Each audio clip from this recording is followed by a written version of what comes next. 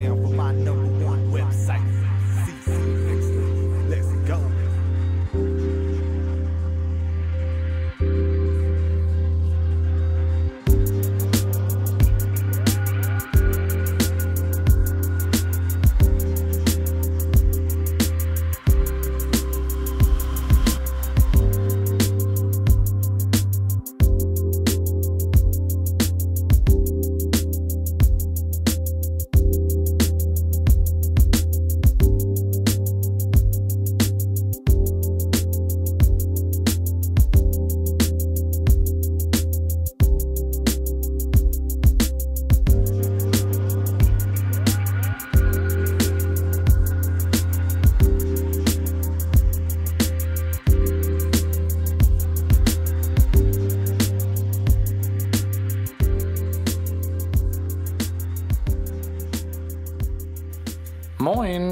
Jo, heute mal eine Vorstellung ähm, zu einem Rake Knife und zwar zu dem P801 ähm, SV.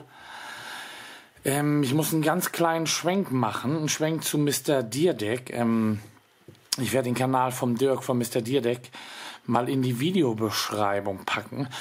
Der hat nämlich die Rake Knives, ähm, zumindest drei Modelle, zwei Klapper und ein Fixed, schon vor einer ganzen Ecke vorgestellt. Ich meine, das war so im Januar 2017.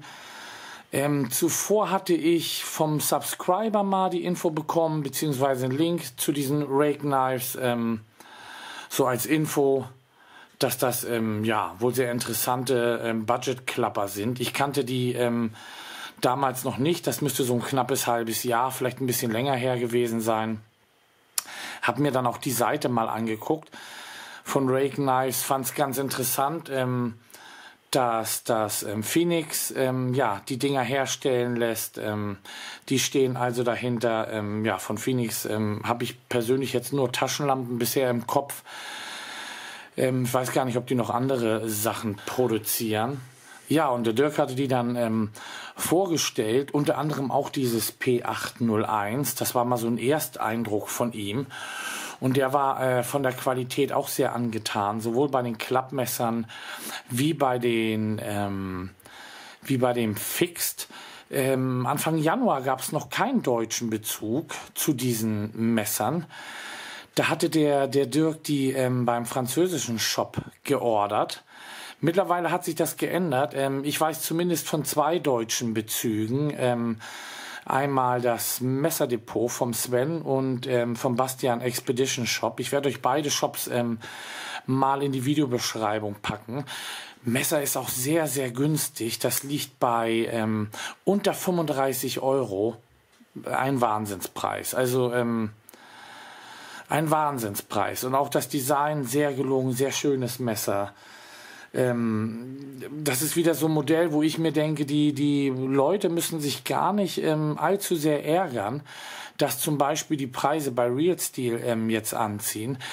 Denn wann immer es so, ein, so eine Art Vakuum gibt, ähm, ja, beziehungsweise, nee, das war jetzt Quatsch mit dem Vakuum, ähm, aber wann immer so etwas eintritt, ähm, dass bestimmte Firmen, die lange Zeit ähm, für Budget ähm, Dinge zuständig waren, teurer werden, ähm, ist es klar, dass viele Kunden dann irgendwann abspringen, weil ihnen die Messer zu teuer werden. Klarer Fall ist dann aber auch, dass andere Firmen dann in die Presche springen äh, und das übernehmen. Und da gehört dann ähm, zum Beispiel Rake Knives oder ähm, zuletzt die ganzen günstigen Messer, die ich von Mr. Blade hatte, die haben mir auch alle sehr gut gefallen. Ähm, die lagen auch alle bei unter 40 Euro. Also ähm, da kommt immer was nach und mit, mit Rake Knives kommt da wirklich was, was, ja, ungewöhnlich Gutes nach. Ähm, das hier ist ein, ein ganz Metallmesser, also kein Titan. Ähm, wiegt, ich glaube, bevor ich hier Quatsch erzähle, bevor wir zu den technischen Daten kommen, ähm, machen wir das lieber so. Präsentation ist in dieser ähm, ja, Rake-Box. Der Dirk hatte damals ähm, Kontakt mit Rake Knives und ähm, hatte auch angefragt, wie das ausgesprochen wird. Und die hatten zu ihm wohl gesagt, dass es Rake Knives ausgesprochen wird. Gefällt mir auch viel besser als Rake Knives oder wie auch immer. Ähm, Rake Knives passt schon ganz gut. Kommt ähm, in dieser Box-Präsentation, finde ich modern, sieht gut aus, ähm, absolut okay. Dann haben wir hier ähm, eine kleine Garantiekarte. Ähm, Rake Knives bietet ähm, einiges an, an Garantieleistung. Fünf Jahre oder ich weiß gar nicht. Ähm, ich hatte mir das alles mal kurz durchgelesen. Für alle, ähm, die das interessiert. Die können jetzt ja mal kurz auf Pause gehen und sich das in Ruhe durchlesen. Auf jeden Fall ist diese ähm, ja, Garantiekarte mit dabei. Und was ich super finde, wie bei Real Steel, ähm, eine Skizze vom Messer, da sieht man schon, dass das Teil eine tolle, tolle Linie hat. Ähm, hier mal im Vergleich das Megalodon. Ich liebe ja recht langgezogene, schmale ähm, Messer mit langen Klingen. Und da fällt das äh, P801 absolut mit rein.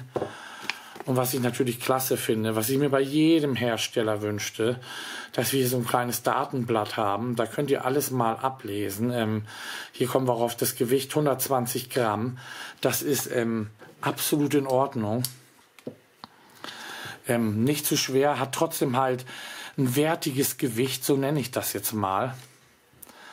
Und ähm, rein optisch ist das halt ein Knaller, das Teil. Und dann kommen wir wieder machen wir den Kreis jetzt zu, dass das einfach ähm, von der Verarbeitungsqualität erstklassig ist, gemessen an dem Preis. Das ist absolute Spitzenklasse. Ich kann jetzt natürlich nur für dieses Modell hier re äh, reden. Das hat mir ähm, der liebe Roland mal rumgeschickt, ähm, Messerbuddy. Vielen Dank für die Leihgabe. Ja, ähm, wie gesagt, als ich damals die Seite schon besuchte, äh, gefiel mir das ganz gut. Ähm, ja, aber es gibt ja viele, viele tolle Messer. Es ist im Grunde äh, sind die zahllos und äh, man muss die Teile dann äh, ab und zu mal in der Hand haben, damit man halt gepackt wird. Hier war es dann wirklich so, äh, aufgeschnippt, äh, in die Hand genommen, angeguckt, ähm, im Bewusstsein, was das Teil kostet. Ich glaube, wie gesagt, ähm, unter 35 Euro, 33 meine ich. Ähm, pff, ja, der Hammer. Ähm, ich bin mir auch ziemlich, ziemlich sicher, ähm, das sollten die, die Shops dieses Messer jetzt noch auf Lager haben, die zwei Shops, ähm, dann sind die im Nu weg, aber ich weiß jetzt schon, dass die ungemein gefragt sind. Also sollten die Modelle schon ausverkauft sein, da tut mir das leid. Ich hoffe, ähm, beide Händler werden schnell nachordern. Ähm, Framelock-Verriegelung, der macht absolut sauber, sauber dicht. Wir haben keinerlei äh, Klingenspiel. Die Klinge läuft auf einem Kugellager. Das tut sie ähm, sehr rasant. Da ist wirklich nur ein kleiner Push vonnöten. Also äh, ohne große Mühe schießt das Teil hier auf.